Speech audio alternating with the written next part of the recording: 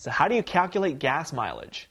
Hi, I'm Jimmy Chang. I've been teaching college mathematics for nine years, and it's actually a fairly simple process to do that. There's just a couple of conditions that you want to meet before calculating your gas mileage. So, here we go. Always make sure that your tank is nearly empty before refilling. Now, you definitely don't want to, you know, you don't want your car to break down running out of gas on the side of a road, but make sure that your tank is close to empty as possible. You know the car will give you some warning signs that you have to refill, so uh, make sure it gets to at least that point before refilling. But once you're at that point, refill. But before you drive on that full tank of gas after refilling, record your mileage before driving on this full tank. So let this mileage be mileage one, just to keep that in mind.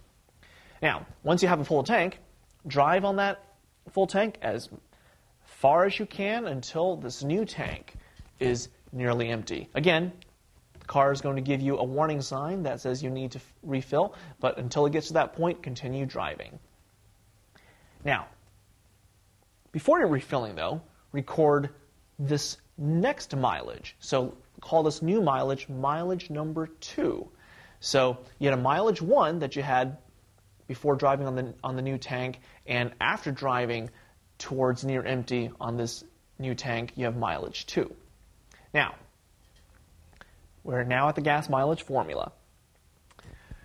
Basically, you take the mileage two minus the mileage one. Remember, that's the mileage that you recorded before driving on the new tank, and then divide by the number of gallons that it takes to refill on your new tank. And that will give you an idea as to how fuel efficient your car is. So, I'm Jimmy Chang, and that is how you calculate your gas mileage.